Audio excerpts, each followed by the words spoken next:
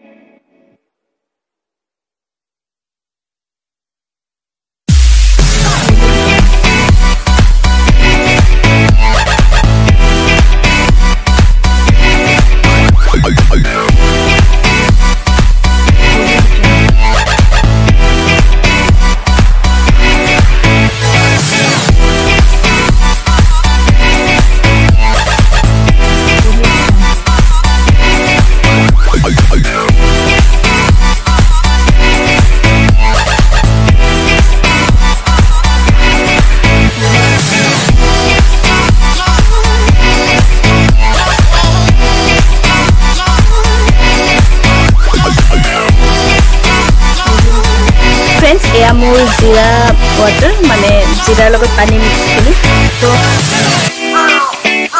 friends মই খালী পেটত এইটো খাওঁৱেই কাৰণ জিৰাই আমাৰ হজম শক্তি বঢ়ায় লগতে আমাৰ মেদবহুলতা অৰ্থাৎ ফেটছ কাটে গতিকে ৰেগুলাৰলি যদি খালী পেটত জিৰা খাব পাৰে তেতিয়াহ'লে আমাৰ স্কিনৰ কাৰণে আমাৰ মেনষ্ট্ৰুৱেশ্যন চাইকেলৰ কাৰণে লগতে আমাৰ যিটো মানে ফেটছৰ কাৰণে খুব ভাল ডাইজেশ্যনৰ কাৰণে খুব ভাল গতিকে আপোনালোকেও এনেকৈ খাব ফ্ৰেণ্ডছ আজি মই মোৰ ব্লগটো এইখিনিতে সামৰণি মাৰিছোঁ নেক্সট ব্লগলৈ আকৌ আহিম আজিলৈ আহিছোঁ